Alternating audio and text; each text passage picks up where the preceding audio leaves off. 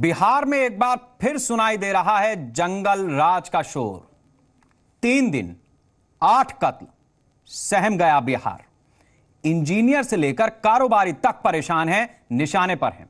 विपक्ष जंगल राज part two का राग अलाप रहा है। नीतीश कानून व्यवस्था को लेकर मंथन में जुटे बिहार में जंगल राज का शोर है।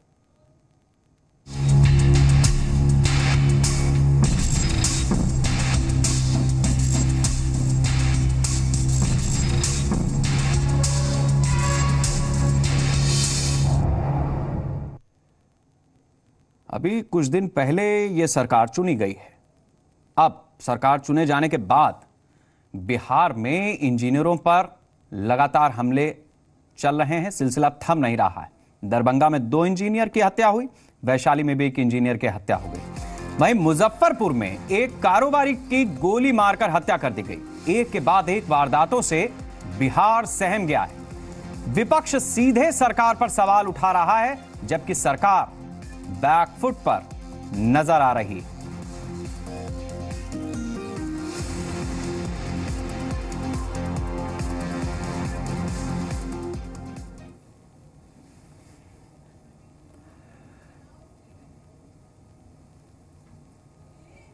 जब से नीतीश कुमार ने सत्ता संभाली है, तब से लगातार इस तरह की वारदातों में इजाफा देखा गया ऐसे में विपक्ष को सवाल उठाने का मौका मिल गया।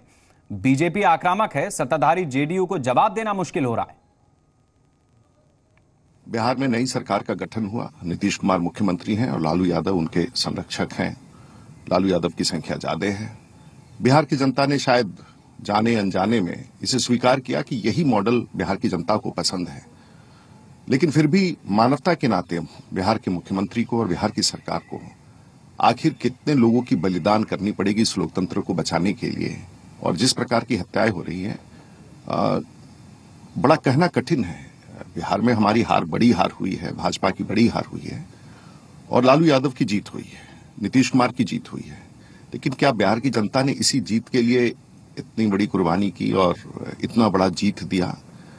इस प्रश्नों का उत्तर तो बेहतर बिहार सरकार दे सकती है। देखिए, जो भी घटनाएँ हुई हैं हाल के दिनों में काफ़ी दुखद है और सरकार मुस्तैदी से अपराधियों को पकड़ने की, गिरफ्त में लेने की और पकड़े भी गए हैं, कार्रवाई हुई। पता नहीं क्यों इस तरह की इस तरह की घटनाएँ हुई हैं। आखिर इसके पीछे क्या कोई सियासत है या क्या है, सारा चीज़ जाँच से पता चल जाएगा। वहीं जेडीयू नेता केसी त्यागी भी मान रहे हैं कि ये घटनाएँ सरकार के लिए बड़ी चुनौती हैं। जो घटनाएँ बिहार में हुई हैं, वो हमारे लिए चुनौती है। मुख्यमंत्री स्वस्थ और अच्छे प्रशासन के लिए जाने जाते हैं। कल उन्होंने हाई लेवल की मीटिंग करके आवश्यक निर्देश दिए हैं। लिहाजा हमें उनके नेतृत्व में पूरा विश्वास है। सीधे रुक करेंगे पटना का। हमारे संवाददाता ब्रजेश इस समय हमारे साथ जुड़े हुए हैं। ब्रजेश, मैं दो वाक्य सामने रखना चाहूँगा। उदाहरण देकर आपके सामने सवाल के साथ। एक तो पंद्रह साल, दस साल पहले का बिहार है, जब जिसको जंगल राज कहा जाता था। इसके अलावा चुनाव से ठीक पहले जब यूपी जब बीजेपी और जेडीयू दोनों साथ में सरकार चला रहे थे और लालू अपनी यात्रा निकाल रहे थे, मुझे बहुत अच्छी तरीके से याद है 2011 में मतलब आठ साल, दस साल, बारह साल, चौदह साल के बच्चे बोतल में पेट्रोल भर के उसमें सुतली लगा करके और फेंक रहे थे बाकायदा। ये स्थितियाँ बन रही थी।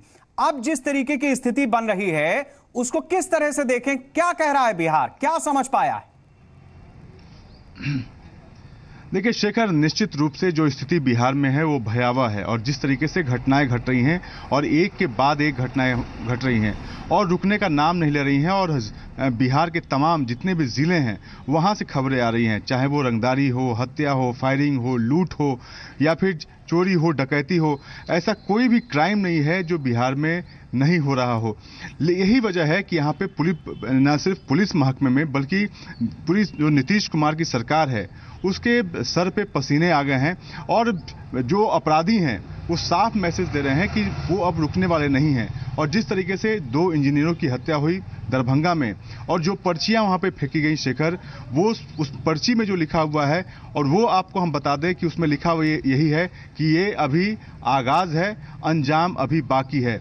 तो ये अपराधियों के मंसूबे हैं, ये उस पर्ची में लिखे हुए मंसूबे हैं, जो ये बता रहे हैं कि अभी आगाज़ है, अंजाम अभी बाकी है, यानी ऐसी घटनाएँ और भी होने वाली हैं। और इसका असर दिखने भी लगा है, शेखर और जितने भी निर्माण, जो सड़क निर्माण से लेकर एजेंसियाँ थी, उन्होंने अपना काम रोक रखा है और जिस एजेंसी, जो प्राइवेट एजेंसी काम कर रही थी, उसने भी अपना काम रोका है और यहाँ तक उसने कहा है कि जब तक उसे सुरक्षा मुहैया नहीं कराई जाती, तब तक वो काम नहीं करेंगे। लेकिन शेखर, ये बात समझना होगा कि बिहार में एक विकास को लेकर वोट हुआ था।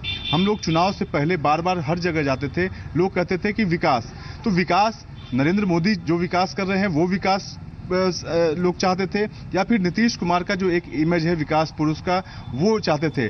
लोगों ने अपना परिणाम नतीजा सामने रखा मैं ये भी आपसे जानना चाहूँगा ठीक है वो वो चुनाव बीत गया। अभी की जो स्थिति है उसमें ऐसा भी लगता है भाई कल नीतीश कुमार ने बैठक ली पुलिस महकमे के तमाम आला अधिकारियों के साथ और फिर इस तरीके की घटना को वैशाली में इंजीनियर मार दिया गया उधर कारोबारी मार दिया गया। यानी जो मुख्यमंत्री का एक इकबाल होता है अब तक नीतीश कुमार का जो भरोसा, जिस जिस बात को वो कहते थे कि मैं चेहरा, मैं इकबाल, वो तो ऐसा लग रहा है कि जाता रहा। अधिकारियों पर जो उनका भरोसा था, वो भी जाता रहा, क्योंकि उन्होंने दो अधिकारियों को बाहर का रास्ता दिखाया दरभंगा के। मतलब वो बर्दाश्त ही नहीं कर पा रहे थे।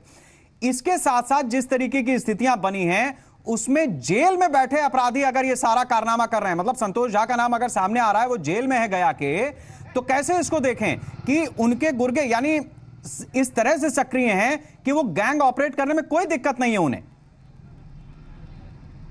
बिल्कुल शेखर, और जिस तरीके से देखिए, संदेश जो गया है, सरकार बनने के बाद जो संदेश जमीनी स्तर पे गया है, वो गलत गया है। जो बार बार ये कहा जाता था, और आपको बता दें कि जहाँ पे दूसरे जो हर जिलों से हमारे लोगों से बातचीत होती है, लोगों का कहना है कि जो क्रिमिनल, जो इलाके के जो क्रिमिनल थे, वो जो अंडरग्राउंड थे, वो इस सरकार बनने के बाद अब सड़कों पर दिखाई देने लगे हैं। मतलब आप समझ सकते हैं कि उनके पास ये मैसेज गया है कि जो सरकार बनी है, वो उनकी सरकार है। अगर हम कोई क्राइम करते हैं तो उन्हें कुछ होगा नहीं, बल्कि वो बचाए जाएँगे। तो ये जो संदेश गया है, वे सरकार के लिए काफ़ी खतरनाक है। और यही वजह है कि इस तरह से घटनाएँ हो रही हैं।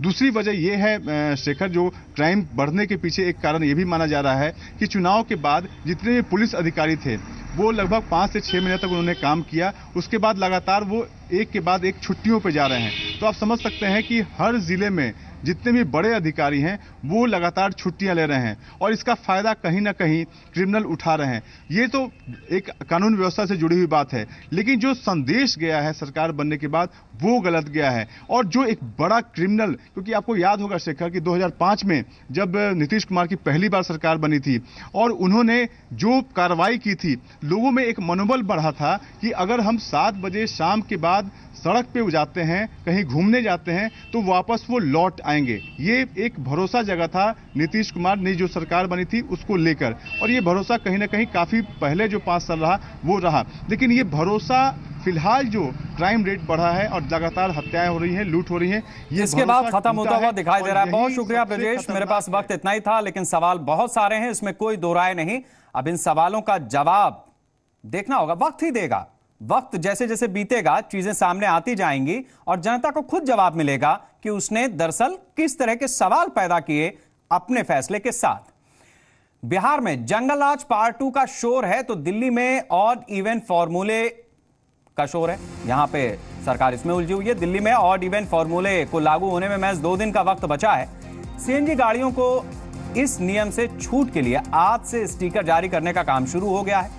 लेकिन जिस तरह से लोगों के लिए स्टिकर की मारामारी मची है, मैनेजमेंट जो है, वो पूरी तरह से फेल नज़र आ रहा है। राहत कम मुश्किल ज़्यादा दिख रही है। दिल्ली के इंद्रप्रस्थ गैस लिमिटेड स्टिकर तो दे रहा है, लेकिन स्टिकर को लेकर उसे भी जनता उतनी क्लियरिटी नहीं है जैसे कहाँ स्टिकर लगाए जाएँ जैसे इसका इस्तेमाल कहाँ होगा, जिसका सीधा असर वहाँ स्टिकर लेने वाले जो लोग पहुँच रहे हैं, गैस भरवाने वाले जो लोग पहुँच रहे हैं, उन पर पड़ रहा है। अब सवाल ये उठता है कि जब स्टीकर के लिए इतनी आफत है तो कैसे लागू होगा नया फॉर्मूला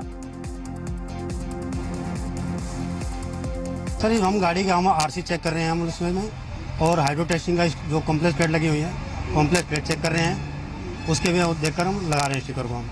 इसके तहत क्या हुआ कि जैसे जो पोल्यूशन का जो भी चल रहा सिस्टम चल रहा है, इसमें सी एन जी गाड़ियाँ इसे लगाने के बाद वो चल सकती हैं। ई वन और एडी वन से ये फ्री हो जाएँगी स्टिकर लगने के बाद। बॉस, मैं तो गैस भरवाने आया हूँ और सोचा था स्टिकर लग रहे हैं, पर यहाँ पे तो सिस्टम ही नहीं है। ना गैस भरी जा रही, ना स्टिकर लग रहे हैं यहाँ पे। और ये कह रहे हमें पता ही नहीं कैसे लगाना है।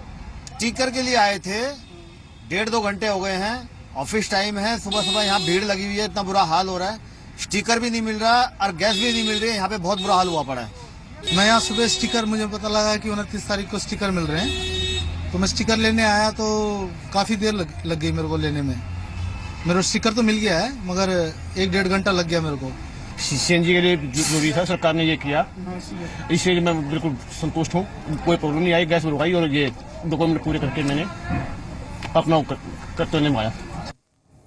वहीं Delhi police commissioner BS Bassi ने कहा है कि पुलिस पूरी तरह से इस फॉर्मूले को लागू करने को तैयार है। फेक नंबर पर बस्सी ने कहा कि दोषियों के खिलाफ सख्त कार्रवाई की जाएगी। अगर कोई फेक नंबर प्लेट इस्तेमाल करेगा so he will do at his own peril कारण यह है कि अगर आप नंबर प्लेट फेक इस्तेमाल करते हैं तो आप ट्रैफ़िक वायलेशन के अलावा आप एक इंडियन पिनल कोड की ऑफेंस भी करेंगे। इसलिए मैं सबको सलाह दूँगा कि कृपया करके फेक नंबर प्लेट के बिल्कुल भी आप चक्कर में ना पड़े। और अब बात यूपी में मासूमों के साथ बेरुखी की। क्या इस बार मासूम कंधों पर माघ मेला मनाया जाएगा? यह सवाल इसलिए उठ खड़ा हुआ है क्योंकि संगम किनारे बच्चों से काम लिया जा रहा है। कानून, कायदे, ठेकेदार के ठेंगे पर अफसर आँख मूंदे हुए।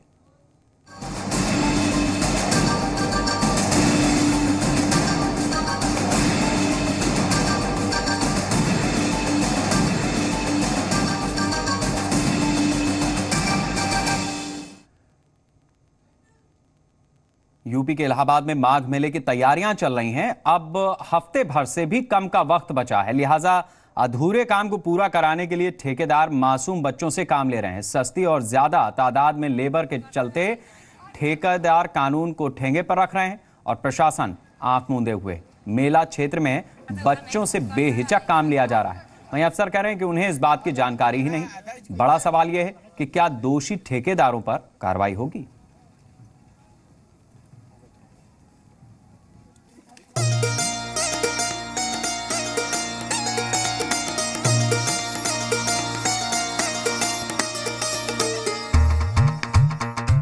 इलाहाबाद में लगने वाले माघ मेले में अब बस हफ़्ते भर का वक्त बचा है।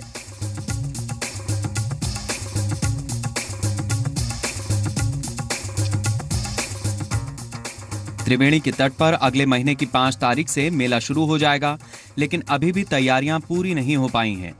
हमने आपको बताया था कि किस तरह माघ मेले की तैयारियाँ लचर तरीके से चल रही हैं। मीडिया में इस मामले को ज़ोर शोर से उठाने की वजह से अब प्रशासन की नींद खुली है और उसने तैयारियों को तेज करने के आदेश दिए हैं। प्रशासन के इस फरमान से ठेकेदारों के फेफड़े फूल गए हैं। लिहाजा काम पूरा करने के लिए वो कानून कायदों को ठेंगा दिखा रहे हैं। ये देखिए किस तरह मासूम बच्चों से काम लिया जा रहा है। मेला क्षेत्र में बनने वाली सड़कों के काम में बच्चों से काम लिया जा रहा है। इसके दो फ़ायदे हैं। एक तो इफरात में लेबर मिल जाती है और दूसरा उन्हें लेबर के कम दाम चुकाने पड़ते हैं। बच्चों के माँ बाप के लिए भी ये कमाई का मौसम है। उन्हें कायदे कानून से कोई सरोकार नहीं। डेढ़ रुपए बोरी भैया बताओ थे इसमें बच्चे भी आपके काम कर रहे हैं छोटे छोटे हैं जिनकी सब हाँ छोटे कोई बच्चन को हम लोग कोई शासन नहीं दिया जाता हम लोग खुद करके खिलाते हैं। अरे उम्र है सोलह साल के पंद्रह साल के। और तो उम्र है। अरे अब क्या करेगा? गरीब में नहीं है तो उम्र का काम करो भाई करी माँ बाप अपनी गरीबी की दुहाई देकर बाल श्रम को सही ठहराने में जुटे हैं तो ठेकेदार मौज में ज़िंदगी बिता रहे हैं। वहीं मेला प्रशासन का दावा है कि उन्हें इस बात की भनक तक नहीं। तो मेरे संज्ञान में तो कोई प्रकरण ऐसा नहीं आया है और ऐसा है तो उसकी जाँच कराई जाएगी सख्त कार्रवाई की जाएगी। अगर ऐसा कोई कर रहा है इंश्योर किया जाएगा कि कोई भी नाबालिग में जी बिल्कुल इंश्योर किया जाएगा किसी प्रकार से नाबालिग से किसी प्रकार कोई काम न किया जाए। आधिकारिक कार्रवाई का भरोसा दिला रहे हैं लेकिन क्या ये मुमकिन है कि इस तरह की घटनाएँ उनकी जानकारी के बगैर हों? असल में मामला बेरुखी का है। सच्चाई ये है कि भारत में आज भी बाल श्रम कोई सामाजिक बुराई नहीं है भले ही ये कानूनी अपराध बन गया हो। और इसी के चलते हमारे अधिकारी और नेताओं को भी इस बात से कोई खास फ़र्क नहीं पड़ता अब बड़ा सवाल ये कि क्या इस तरह देश के कानून की धज्जियाँ उड़ाने की इजाज़त दी जा सकती है? Dinesh Singh, Allahabad, India 24/7 SL group के चेयरमैन डॉक्टर सुभाष चंद्रा को अज्ञात शख्स ने उनके पर्सनल मोबाइल पर फ़ोन कर हिसार न आने की चेतावनी दी है। अज्ञात शख्स ने डॉक्टर चंद्रा को आगाह किया है कि अगर वो हिसार आते हैं तो जान और मान सम्मान से हाथ धो बैठेंगे। इस पूरे प्रकरण को लेकर डॉक्टर सुभाष चंद्रा की तरफ़ से हिसार सिटी थाने में एक शिकायत दी गई है। मामले के संबंध में हिसार के एसपी अश्विनी शैणवी ने कहा है कि इस संबंध में सिटी थाने में रिपोर्ट दर्ज कर ली गई है। मामले की छानबीन की जा रही है। जाँच में जो भी दोषी मिलेगा, उस पर कानूनी कार्रवाई की जाएगी। इसकी एक कंप्लेंट जो कल सिटी हिसार एसएचओ के पास आई। हालाँकि मेरे पास कोई इस तरह की कंप्लेंट नहीं आई है, लेकिन जितना मेरे संज्ञान में है उसके हिसाब से उस कंप्लेंट की फर्दर इंक्वायरी के लिए रोजनामचा में जो डीडीआर एंट्री है वगैरह वो कर दी गई है। एंड इसके बारे में भी उनको भी जो कंप्लेनमेंट है उनको भी संज्ञान में लाया गया है। तो इसके ऊपर लीगल ओपिनियन में एक बार हम ओपिनियन भी लेना चाहेंगे तो उसके बेसिस पे जो निकलेगा उसके तहत हम कानूनी कार्रवाई करेंगे। सर इसमें कोई एफ़ आई आर रजिस्टर करेंगे? इसमें जैसे रोजनामचा में डेली डायरी रिपोर्ट होती है उसको रिकॉर्ड किया गया है। तो उसके बेसिस पे लीगल ओपिनियन लेके अगली जो कानूनी कार्रवाई है उस पर की जाएगी। ललित शर्मा हमारे साथ जुड़े हुए हैं हमारे संवाददाता। ललित? पुलिस की जाँच कहाँ तक पहुँची है और किस तरह से वो अपनी जाँच को आगे बढ़ा रही है? जी शेखर, फ़िलहाल अगर अभी हम बात करें, पुलिस ने इस मामले को लेकर कार्रवाई करना शुरू कर दिया है। फ़िलहाल डीडीआर कट गई है और उसको लेकर कार्रवाई जारी है। फ़िलहाल अभी एफआईआर दर्ज नहीं की गई है। पुलिस तौर का साफ़ तौर पर यही कहना है कि फ़िलहाल अभी लीगल ओपिनियन लिया जा रहा है। आपको बता दें कि एस ग्रुप के चेयरमैन डॉक्टर सुभाष चंद्रा को उनके पर्सनल मोबाइल पर चार नवंबर को हिसार न आने और मान सम्मान खोने को लेकर एक धमकी दी गई थी, जिसको लेकर सिटी थाना में डॉक्टर सुभाष चंद्रा ने एक शिकायत की है। फ़िलहाल अगर अभी हम बात करें, पुलिस की तफ्तीश लगातार जारी है। जानकारी देने के लिए शुक्रिया। दिल को झकझोरने वाली वारदात सामने आई है छत्तीसगढ़ के दुर्ग से, जहाँ एक पिता पर अपने दो महीने के बेटे की हत्या का आरोप लगा है। मामला गंजपारा बेलदार पारा का है। आरोप है कि राकेश ठाकुर नाम के एक शख्स ने नशे में पहले अपनी पत्नी से मारपीट की और फिर दो महीने के बेटे की पीट पीट कर हत्या कर दी। इसके बाद आरोपी ने बच्चे के शव को सेप्टिक टैंक के लिए खोदे गए गड्ढे में दफना दिया। घटना को अंजाम देने के बाद से आरोपी फरार है।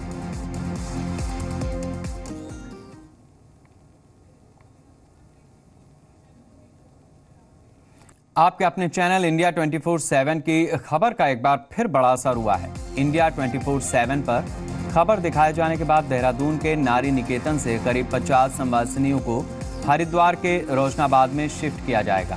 ये काम एक एनजीओ की मदद से किया जाएगा, जहाँ पर इन संवासिनियों को रखा जाएगा। उसकी क्षमता करीब 60 संवासिनियों की है। आपको बता दें कि देहरादून के नारी निकेतन में 133 संवासिनियाँ रह रही हैं, जिसमें से 102 मानसिक रूप से विक्षिप्त हैं। वहीं देहरादून से सटे विकास नगर के सेला कुई के मानसिक रोग चिकित्सालय में बेड की संख्या भी बढ़ाकर 100 की जाएगी। अब तक अस्पताल सिर्फ़ 30 बेड का है।